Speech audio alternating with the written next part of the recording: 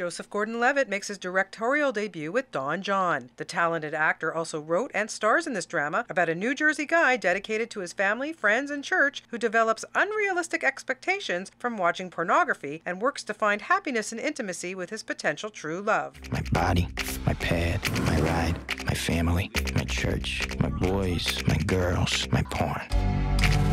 Levitt has been acting since he was a young kid and says he credits the many directors who he's worked with over the years for his reason to give it a shot behind the camera. He's a bit of a Don Juan. He's a selfish guy who objectifies everything in his life.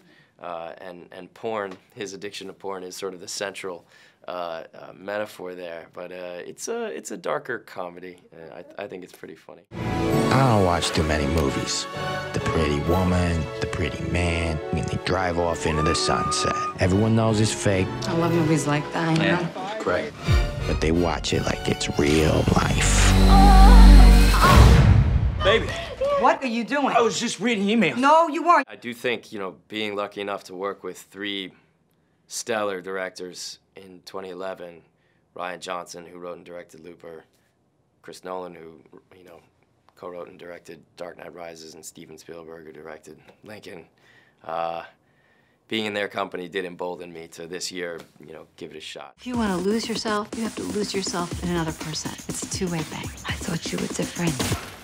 And maybe it's time to try something new. It's something I've always wanted to do. I've been working on the script for years.